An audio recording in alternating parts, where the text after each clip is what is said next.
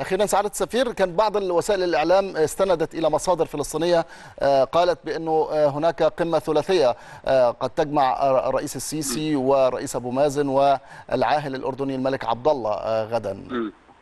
لا أنا بصحح لحضرتك أو يمكن دي أنا شفت يعني عدة وسائل إعلام وكان في التكرز وكده لا ما لم لم يكن مقررا أن يكون هناك قمة ثلاثية.